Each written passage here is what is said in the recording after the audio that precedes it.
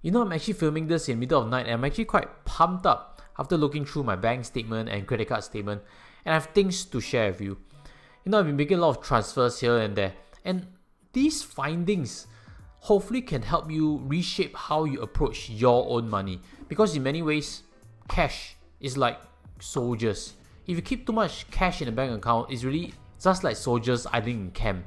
They do nothing. But if you send these soldiers out in search of resources or prisoners of war or new terrain to conquer, then these soldiers are useful and these soldiers can multiply your overall force.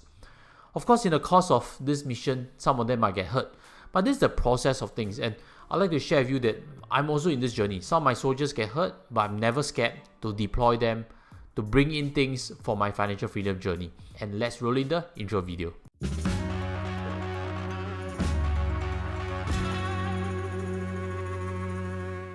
Hi guys, welcome back.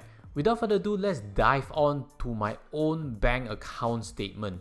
And I've been making a lot of transfers here and there, so it's going to get exciting. What you see in this image over here starts from 13th of January. And I've actually boxed up a few things. In red are transfers to Syfe. I've showed you certain strategies whereby I've deployed towards Syfe trade. I've also deployed towards Chinese equity. In fact, I've actually increased that amount where you can see over here I've actually added a further 2000 per week for 10 weeks. That's because when I look back at the idea, I really liked it and risk reward wise, I think I rate it really highly. That's why I further increased it. So not only 1000 for 50 weeks, I even have now 2000 in addition for 10 weeks. So in purple are deployment towards cryptocurrencies. I've shared before, I'm big on Ethereum, and this block is actually before I done the dollar cost averaging. You also see on top green color boxes. These are passive income sources. I have my investment costs, I have my book sales, but my YouTube income flows to my DBS, doesn't flow to my OCBC, so you don't see it actually here. What I also have later you see on top is orange active income and in black any amounts deposited towards stock brokerages. I'm actually buying stocks to build up my dividend income. So in this first page you see that I've deployed in total 12,500 with quite a bit going towards the various portfolios. So let's move on to the second page. At the bottom, again this is the 1000 per week deposit towards Syfe China portfolio. And right now I have this 3500 that I've suggested in the previous video. Now I'm trying to use it for one whole Ethereum coin. And over here in green, you see this is another passive income source. And above it, that's my active income. Then up next in green over here, $2,000, this is my rent income. So I do have quite a few passive income sources. Then up next is yet another active income source, followed by some passive income. And then on the top, there are deposits towards crypto accounts. I've actually started a new one in Gemini, that's why I've deposited, just as a trial, $150. So all in all on this page, 11,550 has been deployed. Now let's move to page 3 and what we can see over here is a continuation of my 2000 per week and 1000 per week towards the two Chinese Syfe portfolios. They have also passive income sources. Then on 8th of February, you see that I've actually moved 3600 to Xfers and this is actually to the Gemini exchange that I mentioned just now. I'll be changing this dollar cost averaging from Coinhako to Gemini and I've actually increased it slightly. So 3600 per week to purchase hopefully one Ethereum coin. And last but not least, on top, that is where I've actually done stock purchases 8800 and 6400 plus. Now these are two stocks that I like and I've actually mentioned before on this channel. So if you're keen to find out on them, subscribe, stay along the channel. You might be able to guess what they are eventually. But the main part is this, when I buy stocks that are sent to the CDP account, I usually buy between 5 to 10,000 blocks, just to make it meaningful and as well as to optimize the brokerage charge. So on this page in total, 22,000 plus has been deployed. So net net over the course of the last one month, I've deployed more than $46,000. And there still remains 42,000 plus idling as you can see at the top available balance. But today's title is how I save and invest at least 70% of my income, correct? The first thing to clarify is I did not start off with 70%. It was a way lower amount in my earlier working years. And at some point, when my ice cream shop folded, I had next to nothing in the bank account. I only had stocks remaining. And what I came to realize is a lot of times we want to get the end result. We don't want to see the process. But that's a mistake actually. What we need to realize is that things take time to build. We need to go through a process and everybody's limitations are different. But maximizing it is fully your decision. So hopefully from this quick tutorial, you have some action points to take as of today. And again, if this message has helped you, smash on the like button. All in all, the first step of building towards financial freedom definitely starts with building a strong income and as well as building multiple sources of income if you can. A base income that is strong is after years of refining the work.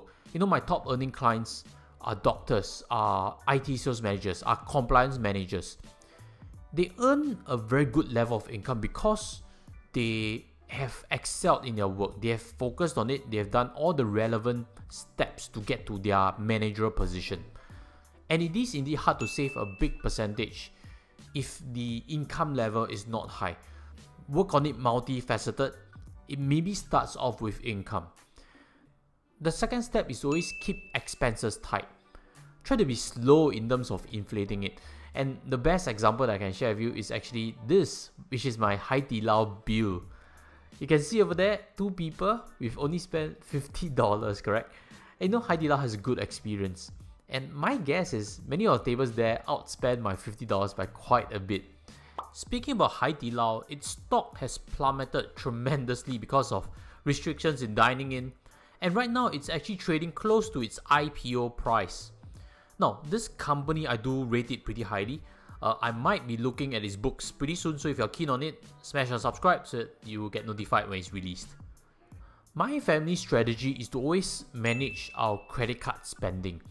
We have three main cards. Myself, I'm running the OCBC 365 credit card. My wife has one 365 card herself, and as well as BOC's family card. Let's start with the OCBC 365 card. Over here, that's where we log in petrol to get 5%. And the main part is that it needs a minimum spending of $800. So once we actually cross it, we actually move cards. So that actually is a reminder on how much balance we can actually spend comfortably within the month. And if we compare to the BOC family card, realize that the dining for BOC family card is even stronger at 10%. However, there's a cap of $25, so we do actually use it for grocery shopping. And when we spend on these cards, usually we exceed it by a bit. It could be 800 plus or even to $1,000. So all in all, the best average is $900 for the three cards, that brings it to $2,700 for groceries, dining, and bills. There are also expenditures in Hawker Center, which is done by GrabPay or done with cash. So when I look back at accounts, I think the best estimate of these various expenditures is about $800 in total.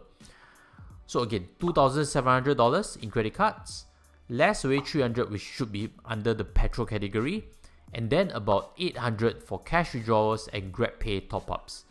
So all in all, between myself and my wife, it is $3,200, which means my half is 1,600. So this brings the total expense that I'm facing in 2022 to be closer to $5,000 per month. And that hasn't even factored in income taxes, as well as costs such as travel, which have not shown up because we're not flying anywhere. So all in all, total expenses are about 5,000 or 5,000 plus. And from a total annual income perspective, that's how I actually save more than 70% of my income. So hopefully this sharing has shed some light on what are possible steps to move ahead or to make changes to. And I promise a big rounding point, which is this.